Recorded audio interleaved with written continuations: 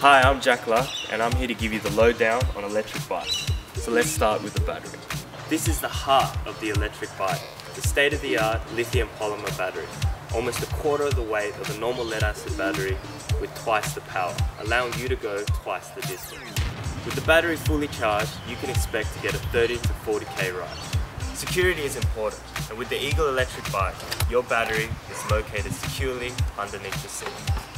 Convenience is the secret of the Eagle electric bike, with the ignition key start and a twist and go throttle.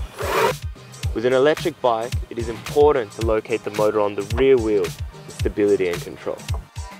The Eagle Chopper has a state-of-the-art brushless 200 watt high torque motor that complies with the legislation of every country in the world. The things that set the Eagle electric chopper apart from other electric bikes are the motorcycle style saddle and the low center of gravity. Just like the best motorbikes, the Eagle electric chopper comes with a front disc brake and a rear drum brake. Of course, if you'd like to extend the range or get more exercise, then there's always the pedal assist.